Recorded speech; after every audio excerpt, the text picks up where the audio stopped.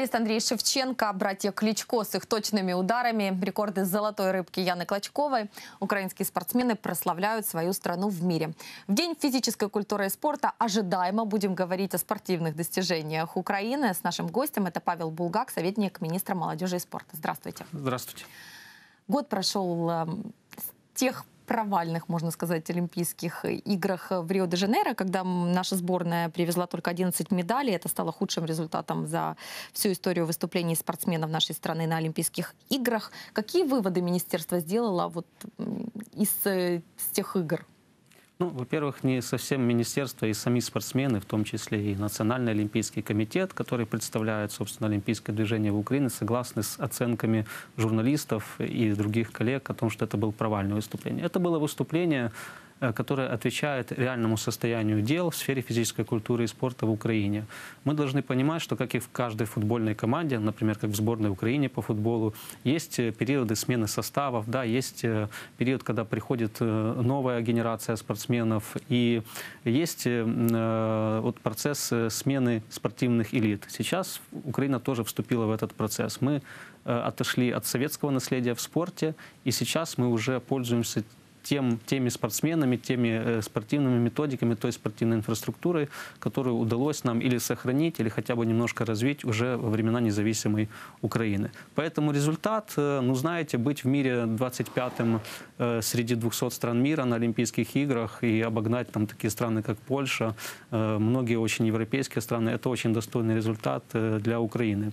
И самое главное, что вот на этих Олимпийских играх около 40 человек из украинских российских спортсменов заняли четвертое, пятое, шестые места. То есть немножко не хватило до медали. И это как раз тот потенциал, который нам позволит дальше развиваться и надеяться на то, что мы будем улучшать наши результаты на Олимпийских играх. Как раз и Олимпийские игры прошлые, они стали такой точкой бифуркации, когда э, вся спортивная общественность, это и спортивные ученые, и спортивные функционеры, э, провели очень серьезные э, заседания, очень серьезный анализ, работали экспертные группы, и мы анализировали, почему был такой результат, и что надо дальше изменить, чтобы улучшить наш результат, чтобы мы могли претендовать на олимпийское золото на следующих Олимпийских Олимпийских играх в следующих циклах.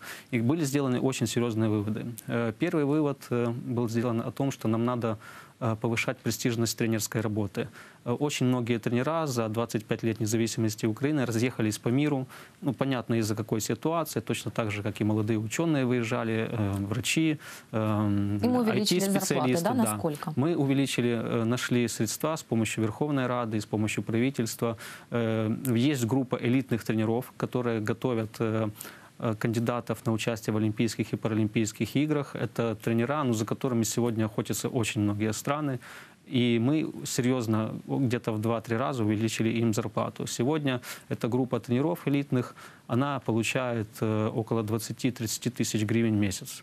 Это достаточно, долларов. Да, это достаточно серьезная э, сумма, угу. которая позволяет даже говорить о том, что есть информация уже такая, что многие тренера, которые уехали за границу, в ближнее зарубежье, например, во время прошлых циклов олимпийских, они уже думают о том, чтобы возвращаться Какие в Украину. Какие выводы были сделаны? А, был сделан еще один вывод серьезный. Это необходимость развития спортивной инфраструктуры. А, почему был такой результат на Олимпиаде? Дело в том, что а, война, российская агрессия, аннексия Крыма, она нанесла очень серьезный удар по спортивной инфраструктуре страны. Чтобы вы понимали, э, в Донецке, в Луганске, в Крыму были очень мощные базы олимпийской подготовки. Было училище Олимпийского резерва имени Сергея Бубки, которое как раз специализированно готовило спортсменов к участию в, в самых э, крупных соревнованиях а сколько мира. Сколько объектов э, спортивной инфраструктуры вот на Востоке разрушено в связи с российской агрессией? Очень много разрушено объектов. Ну, это десятки объектов. Мы потеряли базу паралимпийской подготовки, уникальную базу. И не только паралимпийской подготовки. В Крыму, в Ялте она была одной из самых лучших во всем мире. И по ее принципу, по ее лекалам, другие страны, в том числе Китай, кстати, строят и строили такие базы подготовки. Потеряли очень много объектов э, в Донецке, РСК Олимпийский, например, где Украина в 2013 году принимала чемпионат мира среди юниоров по легкой атлетике. Это были очень очень престижные соревнования. Было потеряно оборудование. Часть нам, кстати, удалось вывести благодаря патриотичности э, представителей физической сферы, но объекты потеряны. И поэтому это тоже повлияло на результат. Поэтому сегодня Мы изучили европейский опыт. Министр несколько раз ездил в Польшу, э, ознакомливался с работой спортивной инфраструктуры. И по инициативе Игоря Жданова э, правительство приняло решение о том, что в э, Государственном фонде регионального развития будет выделена специальная квота 10% от общего фонда регионального развития исключительно на строительство, реконструкцию. Сколько объектов построят в этом году? Э, в этом году Министерство молодежи и спорта было рассмотрено 84 объекта, на сумму около 373 миллионов гривен. Чтобы вы понимали, это одна из самых э, крупных инвестиций, которая была сделана государством ну, за все, наверное, года независимости, не считая подготовку к Евро-2012. А по какому принципу финансируются виды спорта? Есть ли у министерства вот какие-то любимые, приоритетные виды спорта? Конечно, есть, э, как и во всем мире, как и во многих европейских странах, например, в Великобритании или как в Канаде, есть приоритетные виды спорта, которые традиционно являются сильными в той или иной стране. Ну, есть школы, да, в Украине есть школа художественной гимнастики Дерюгиных очень сильная, есть школа легкой атлетики, есть э, школа, хорошая школа бокса, есть э, очень хорошая, одна из лучших школ э, спортивной гимнастики. И, соответственно, есть определенная категоризация в зимних, в летних видах спорта. Есть приоритетные олимпийские летние виды спорта, есть зимние, есть паралимпийские, есть неолимпийские приоритетные. То есть, э, а вот какие основная... неолимпийские виды могут получить поддержку государства? Они получают поддержку государства. Наибольшую поддержку? Наибольшую поддержку государства. Ну, я бы так не сказал. Получают э, все виды спорта, которые способны приносить Украине медали, которые демонстрируют высокие результаты в мире, они могут рассчитывать на поддержку государства. Если не олимпийские виды спорта, например, это пауэрлифтинг, который завоевал наибольшее количество медалей на прошлых э, всемирных играх, которые прошли во Вроцлаве в Польше. Э, это многие другие виды спорта, э, которые традици... в которых традиционно Украина сильна. Вы сказали о том, что министерство сегодня стимулирует тренерскую деятельность. А как вы стимулируете спортсменов? Очень интересно, сколько зарабатывают наши спортивные звезды. Э, украинские спортивные звезды, э, в принципе, э, ведущие спортсмены, которые являются элитой мирового спорта, они достаточно неплохо зарабатывают. Эм, они получают существенную поддержку от государства. Мы должны этим гордиться на самом деле, потому что не в каждой стране Европы и мира есть э, такой уровень призовых за победу, например, на Олимпийских играх, как в Украине. Э, этой зимой будут э, проходить зимние Олимпийские игры.